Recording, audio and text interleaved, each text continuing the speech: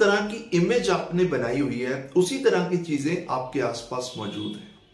जिस तरह की इमेज आपके दिमाग में है, उसी तरह की चीज़ें आपके आपके आसपास मौजूद है। आपकी गाड़ी कहाँ से आती है? अगर आप कोई गाड़ी लेते हैं, आपने एक अंदर इमेज बनाई कि मुझे इस तरीके की गाड़ी चाहिए, आप उसी तरीके की गाड़ी लेते हैं। आप अगर जॉब करना चाहते हैं, आप एक इमेज बनाते हैं कि मुझे इस तरह की जॉब चाहिए तो वो जॉब उस तरीके से आप आगे बढ़ने लगते हैं। आप अगर कपड़े भी लेने जाते हैं ना तो एक इमेज बनाते हैं कि मुझे इस तरीके के कपड़े चाहिए और ऑलमोस्ट उसके आसपास आपको वैसे ही कपड़े वैसे ही कपड़े आप लेके आते हैं, वैसे ही शॉपिंग आप करते हैं। बहुत पावरफुल चीज़ है हमारी इमेज मगर यह बात आपको जाननी होगी कि आपकी इमेज बनती है आपकी इमेजिनेशन से। अगर आपकी इमेजिनेशन हेल्दी होंगी तो आप एक हेल्दी इमेज बनाएँगे अगर आपकी इमेजिनेशन बीमार होंगी तो आप एक बीमार इमेज बनाएँगे। आई रिपीट अगर आपकी इमेजिनेशन हेल्दी होंगी तो आप एक हेल्दी इमेज बनाएँगे। और अगर आपकी इमेजिनेशन बीमार होगी तो आप बीमार इमेजेस बनाएँगे। This is very important for you to know अब होता क्या है कि लोग अपनी कैसी इमेज बनाते हैं कि वो लोन पे पैसा ले लेते हैं। लोन से घर भी बना लेते हैं, गाड़ी भी बना लेते हैं, अपना स्टैंडर्ड भी बना लेते हैं। अब उन्होंने ऐसी इमेज बना ली, ऐसी इमेज बना ली कि सब उनको अप्रिशिएट करते हैं। भाई वाह, आपने बहुत अच्छा काम किया, आपने अच्छी गाड़ी ले ली अच्छा घर ले लिया, अच्छे कपड़े बना लिए और अच्छा स्टैंडर्ड बना लिया। बट अंदर से क्या? अंदर से सब कुछ आपने लोन पे लिया हुआ। लेकिन बाहर आपने ऐसी इमेज क्रिएट कर ली कि सब लोग आपकी तारीफ़ कर रहे हैं। लेकिन अंदर अंदर क्या हो रहा है? अंदर अंदर आप घुट रहे हैं। अंदर अंदर आप मानसिक तनाव और स्ट्रेस में और डिप्रेशन की दवाई खा रहे हैं, लेकिन बाहर से लोग आपकी तारीफ़ कर रहे हैं। एक सच बात बताऊँ आपको, किसी इंसान को आप बुला लीजिए कि मेरी एक मंथ की इंस्टॉलमेंट दे दो। कोई नहीं देगा।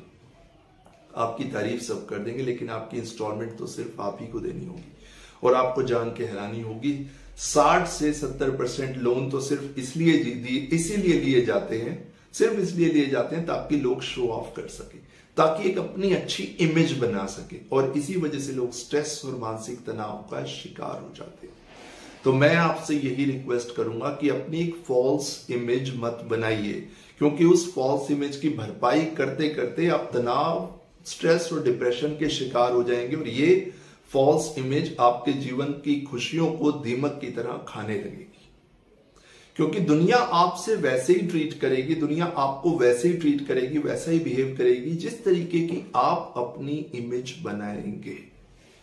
तो इसलिए बहुत इंपॉर्टेंट हो जाता है, आपकी रिस्पॉन्सिबिलिटी हो जाती है कि आप एक अच्छी इमेज एक पॉजिटिव इमेज बनाए। अब होता क्या है कि कुछ लोग ऐसी इमेज बना लेते हैं कि वो बार बार दूसरों को प्लीज़ करते हैं।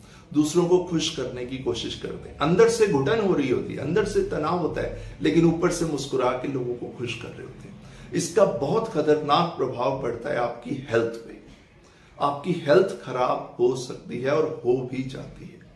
अब क्वेश्चन ये उठता है कि किस तरीके की इमेज बनाए कि हमें स्ट्रेस ना हो, तनाव ना हो, हम मानसिक तनाव के शिकार ना हो। ऐसी पॉजिटिव इमेज बनाई जा सकती है।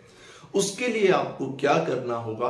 आपको अपने साथ कुछ वक्त लगाना होगा। आप जब सुबह बिस्तर से उठें तो आप खुद को चूहे की तरह मत देखिए। आप जब बिस्तर से उठें तो आप खुद को एक शेर की तरह देखें।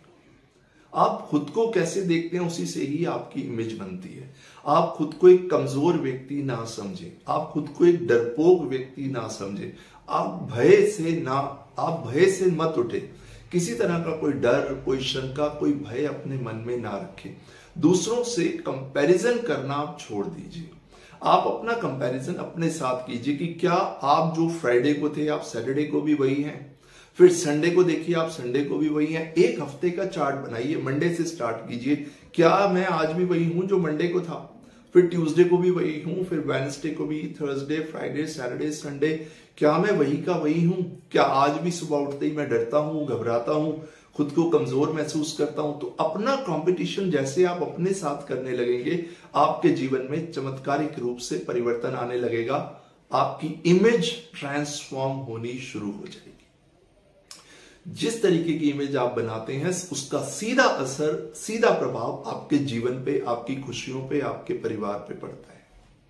तो सबसे इंपॉर्टेंट हो जाता है कि जब आप अपनी इमेज बनाएँ सेल्फ इमेज बनाएँ, अपनी इमेज बनाएँ तो प्रायोरिटी लिस्ट तैयार करें कि मेरी इमेज में सबसे ऊपर है मेरी मानसिक शांति, कि मैं अपनी मानसिक शांति नहीं खोऊँगा, मैं खुद में विश्वास करूँगा। मैं जैसा भी हूँ, जहाँ भी हूँ, जो भी काम करता हूँ, उसमें अपना हंड्रेड परसेंट दूँगा। अपने कर्म को मैं पूरी निष्ठा से करूँगा। अगर आप अपना ध्यान कर्म पे लगाएँगे तो उससे कर्म तो अच्छा होगा ही, उससे आने वाला फल भी बहुत अच्छा होगा। बट अगर आप अपना ध्यान हमेशा फल पे लगाए रखेंगे, ना तो कर्म अच्छा होगा, ना उससे आने वाला फल अच्छा होगा। तो एक अच्छी पॉजिटिव सेल्फ इमेज तब बनती है जब आप अपना ध्यान फल की तरफ़ ना लगा के अपने कर्म की तरफ़ लगाइए। और हैप्पीनेस को, यानी खुशी को और आनंद को सबसे ऊपर रखिए।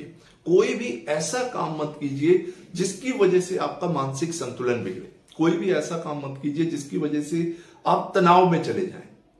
देखिए, हर इंसान की रिस्क लेने की, रिस्क लेने की चेंजेस चेंजेस की चैलेंजेस को फेस करने की एक अपनी क्षमता होती है।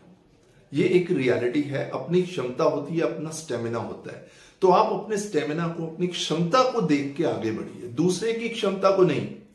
सेल्फ इमेज यानी अपनी इमेज आपकी तब इंप्रूव होगी जब आप अपनी क्षमताओं को देखेंगे, अपनी स्ट्रेंथ को, अपने स्टेमिना को देख के आगे बढ़ेंगे, दूसरों की नहीं। और धीरे धीरे आप देखेंगे आपका स्टेमिना आपकी स्ट्रेंथ आपकी सेल्फ इमेज इंप्रूव होने लगेगी। अब कुछ लोग क्या करते हैं, बचपन में जो गलतियाँ की, बचपन में जो फेलियर्स देखे, उसको बचपन तक ले जाते हैं। बचपन से बचपन तक परेशान रहते हैं। एब्सोल्युटली नॉट अगर कुछ गलत आदतें आपने अपने अंदर डेवलप कर ली उन आदतों को बिल्कुल काट दीजिए, हटा दीजिए और नई तरीके की आदतें अपनी पर्सनैलिटी में डेवलप कीजिए। आप देखेंगे आपका माइंड सेट इंप्रूव होने लगेगा, आपकी इमेजिनेशन हेल्दी होने लगेंगी।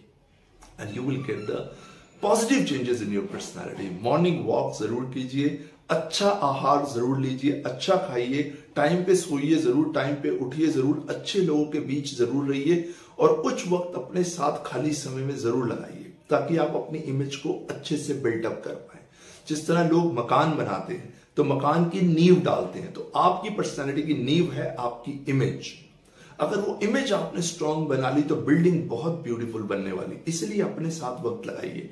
आपकी इमेज को आपको आपसे ज़्यादा कोई नहीं समझ सकता। अगर आप दूसरों के दिमाग से खुद को समझने की कोशिश कर रहे हैं तो थोड़ी परेशानी आपको होगी, ज़्यादा परेशानी होगी।